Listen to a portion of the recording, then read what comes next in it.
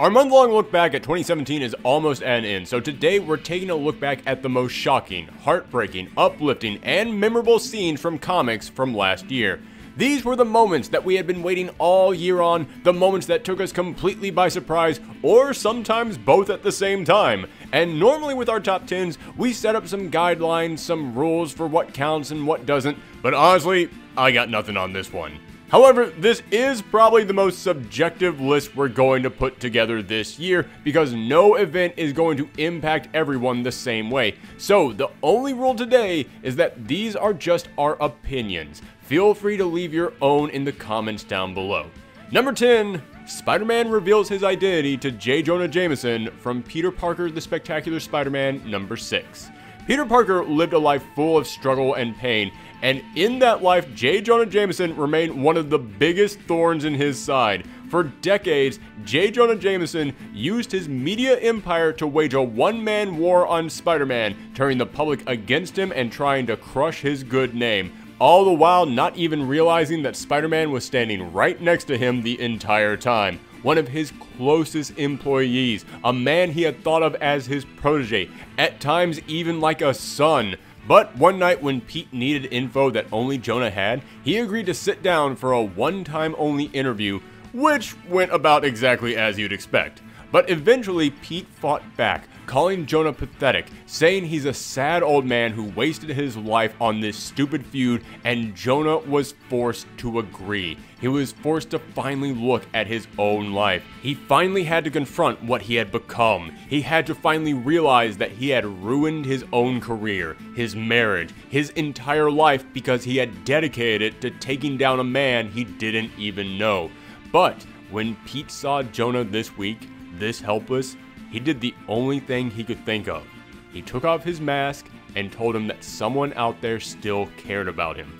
This changed everything about their relationship in one panel. In this moment, Jonah realized that everything he knew was a lie and he had no idea what to do about it.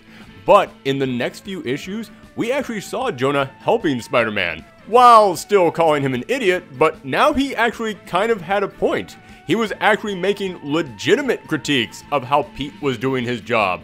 We have no idea what this means for the future of Spider Man. For all we know, they could erase Jonah's memory in the next few issues and all this will lead to nothing. But if they decide to let this stay, then it could become one of the biggest moments for Spider Man's entire career.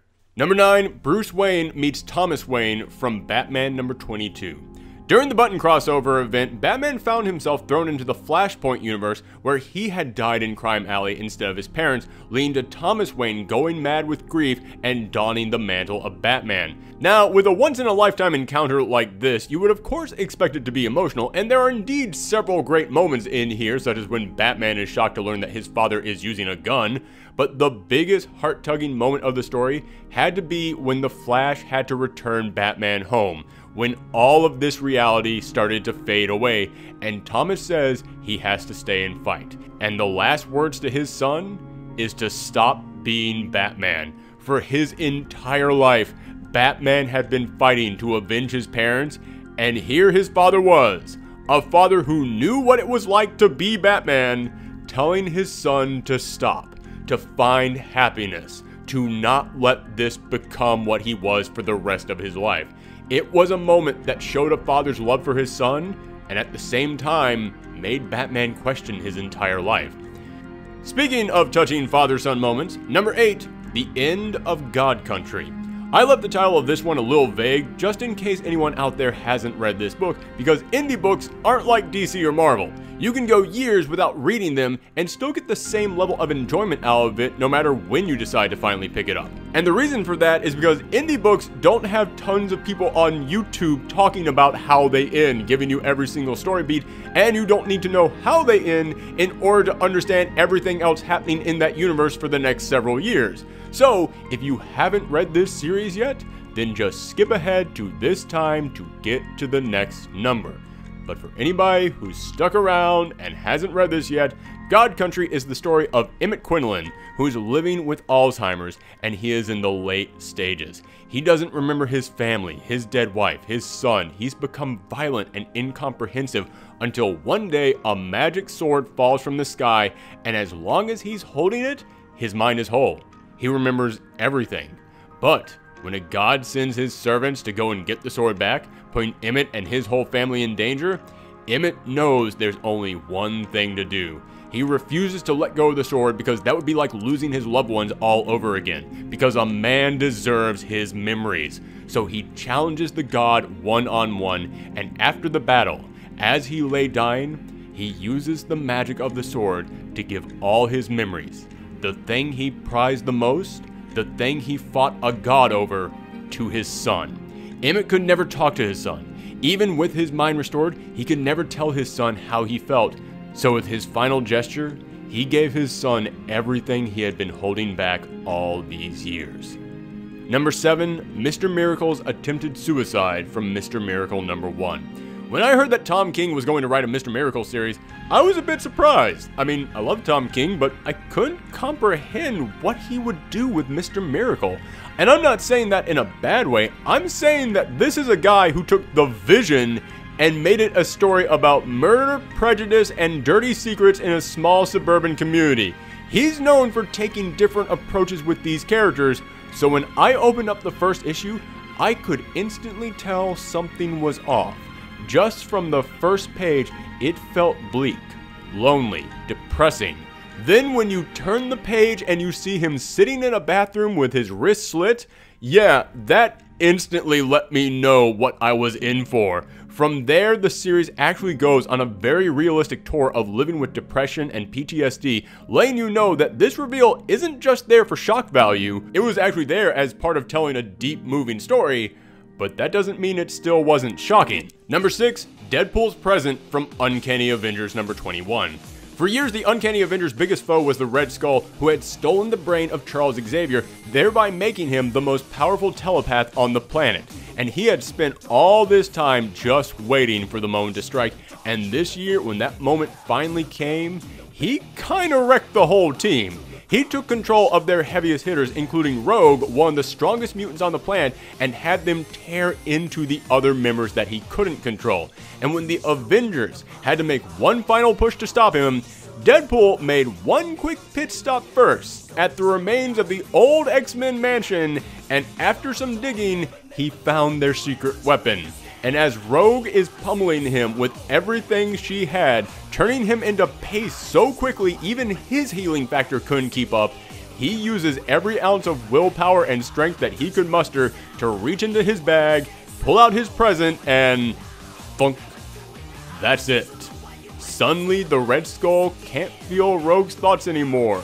She stands up, turns around, and now wearing Magneto's old mind blocking helmet, stares Red Skull down with a look that says, My turn. It's always great to see the villain of a series get the table turned on them, especially after they spent so much time winning, and this is one of the best examples of that in recent memory. But not the best one this year, and we'll talk about that later. Number 5, the Phoenix's real goal in Jean Grey number 10. I've said that this year, the Jean Grey series is one of the best examples of a character growing and developing because at the beginning of this book, Jean sees that the Phoenix is coming back to Earth and it's coming for her. Now, this is the time displaced Jean Grey, the Jean Grey trapped from the past. So it's a Jean who never got possessed by the Phoenix, never had her mind and spirit completely corrupted by this all powerful entity. So, she spent the entire series going from one hero to another trying to learn how to approach this. She talked to other people who had been possessed and found that, yeah, there really is no good option here. It never truly left them. They were still a wreck with their mind ablaze. So she realized if she couldn't let the Phoenix possess her, she had to do the impossible. She had to fight it. She had to stop the unstoppable. So this whole year, she went from one hero to another, learning their secrets, learning how to master her powers, becoming stronger and more skilled, gathering allies, forming a plan, and when the Phoenix finally arrived, she used everything she had learned to strike back. And even though she knew it was impossible, she was going to do everything that she could to keep herself from becoming its new host. And with one final blast, giving it everything she had, she actually managed to hurt the Phoenix, something almost no one else had ever done. But the Phoenix is truly unstoppable, and as she struggled to her feet, depleted with nothing left to give, she prepared herself to be possessed only for the Phoenix to reveal that she knew she wasn't ready for it. She wasn't strong enough to contain her. But that's not why it was here. The Phoenix only cared about the original Jean Grey, the adult Jean Grey, who was strong enough for it. Everyone else was a cheap imitation, and it didn't care much for that. The Phoenix didn't come all this way, crossing galaxies, to possess Jean. It came all this way to kill Jean and in one panel, it reduced Jean to ash, killing her in one shot. Now, as I said, this whole series was a great way to show a character's growth and development because she had a goal, she had a starting point, she had an end point, and every single issue it set up here's something you can use against the Phoenix, here's a way to fight, here's a lesson to learn. And when the time came, she used every skill she had acquired, and with all that, she was able to do more than anyone else could. But the Phoenix still looked at her and said, You think you can stop me? Guess what? Nothing can stop me. This wasn't just a shock, this was a sucker punch. This was a series that had been telling you for a year here's how Jean will beat the Phoenix, only to pull that football away at the last second and send us flying. Number 4, Doctor Strange's Secret Ally from Doctor Strange number 382. After losing the title of Sorcerer Supreme to Loki of all people, Doctor Strange has learned that Loki is trying to acquire a spell that would give him control of all magic on the planet. But Doctor Strange doesn't care. He knows that there's no way he'll ever figure out how to get it. Until Loki actually starts to figure out how to get it. Strange realizes that if Loki gets this, it's game over. For everyone. But without his Sorcerer Supreme arsenal, no way is he a match for Loki. So after having everything taken away from him, including his house, his weapons, his clothes, and his closest friends, now he sees Loki about to gain ultimate power. So Strange decides it's time to do the one thing he promised he would never do.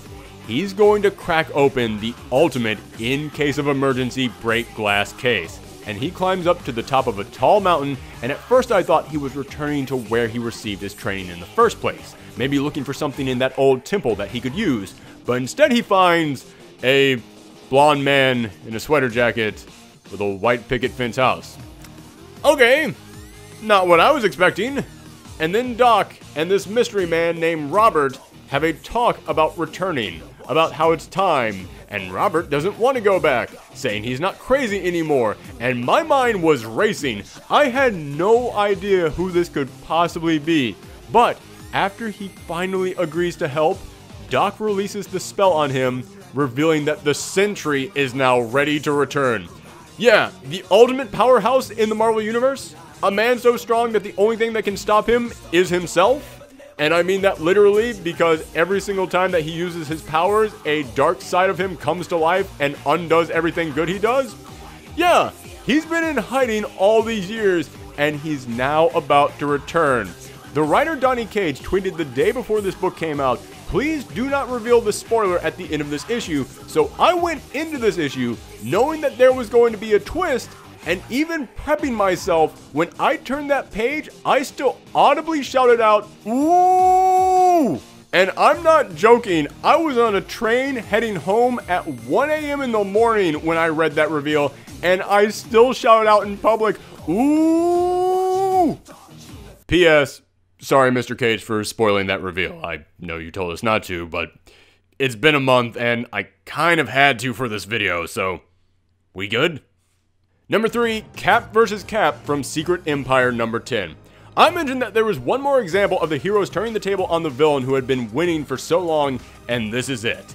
After an evil doppelganger of Captain America took over the country, enslaved minis, imprisoned countless, destroyed cities, and trapped the heroes so they couldn't fight back, all hope seemed lost, especially after the evil Cap was able to lift Thor's hammer, almost making it seem like even the gods themselves had deemed his horrible agenda and malicious plans to be quote unquote worthy. But when the heroes finally were able to fight back, and they were able to free the real Captain America, even though they could all gang up on this evil Cap and beat him easily, they needed to let the real Cap do it. They had to prove that he was the real one, that he was right, that this imposter didn't have the strength to stand up to the real deal.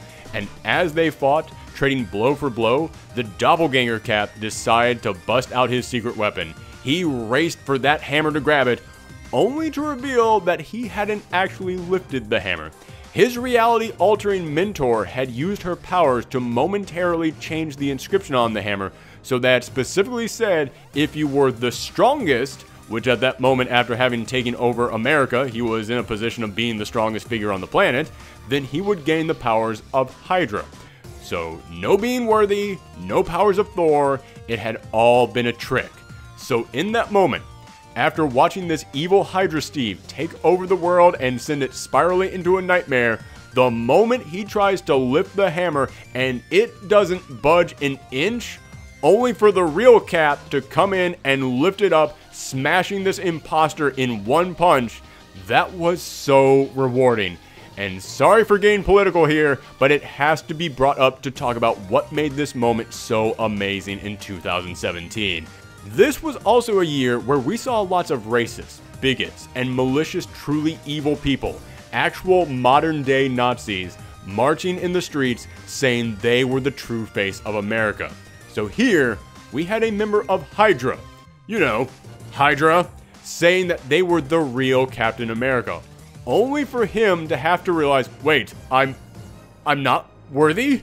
As the real Cap comes in, grabs it, and proves, no, he's the worthy one. It was impossible to not draw comparisons between that and what had been going on in the real world, and that added a whole new layer to this moment. At number 2, A Panther Always Keeps His Promises from Spencer and Locke number 4. Again, this is an indie book, and I know a lot of you did not read this, so skip ahead to this point if you don't want to be spoiled. And this book was damn good, so believe me, if it is at all possible for you to read this, don't let yourself be spoiled. But Spencer and Locke is basically a look at what would happen if we got the dark, gritty reboot of Calvin and Hobbes. I know, it sounds stupid, but it actually kind of works. It's the story of what if Calvin, or Locke in this world, didn't create Hobbes, or Spencer, because he was a kid with an overactive imagination, but because he needed escape from this dark world. What if he had a father who was a no-show, a babysitter who abused him, and a mother who regularly beat him to within an inch of his life? Spencer wasn't created just as a playmate, Locke created him so that someone would care about him someone would be there to tell him to keep on living. However, Locke went off the deep end and lost any chance of a normal life one night when his mother was going to kill him, and Locke wound up shooting her to save his own life. Cut to 20 years later, when Locke is a hard boiled detective who is still talking to his imaginary friend and carries around a stuffed animal on all his cases. Now, for this story, he's tracking down what happened to a childhood friend of his who winds up dead only to find out that she had a daughter, and not just any daughter, his daughter, and she's been kidnapped by the mastermind behind all of this. Now this girl is scared, but Locke gives her Spencer and tells her, don't worry, he's the biggest, meanest panther in the world, and he's promised to keep you safe. However, it's just a stuffed animal, and after she gets kidnapped, there isn't much that a stuffed animal can do to help. So she's running for her life, holding on to this beat up old toy until she finds a gun. Now she's trapped with the criminals closing in on her, and if they get her, game over. She's taken away forever, and there's no way that Spencer can save her. But if she fires the gun, then she's too far gone. Just like Spencer, it will set her down a dark road that she'll never be able to recover from.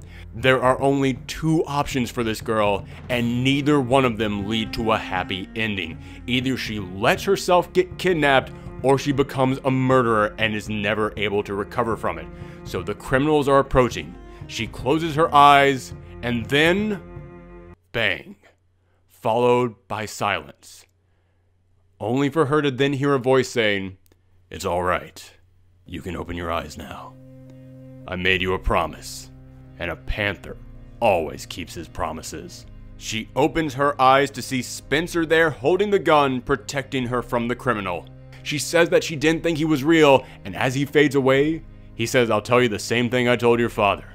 I'm as real as you need me to be. Now, this is only my number two spot on the list, but only because of how huge the first spot is. Only because of what it did, because of how much it surprised me, and blah, blah, blah. You'll hear more about that in a second. But if I was just going by emotional reaction, by the size of the gasp I gave and the level of tingle I felt up and down my skin, this would easily be number one. It had an amazing, bleak, and depressing build-up for four issues, leading to a moment that crushed all hope that you might have still been holding on to, only for the imaginary friend to come in and save the day. Yes, we all know that she still fired that gun. We know it was her who did it. We know that Spencer isn't real. But she doesn't. Sure, as she gets older, she'll realize that Spencer wasn't real. Maybe one day, a decade from now, she'll be in therapy and she'll realize what really happened, but she'll be older and she'll be able to deal with it then. But for now, while she's still a child, the imaginary friend came in and saved her.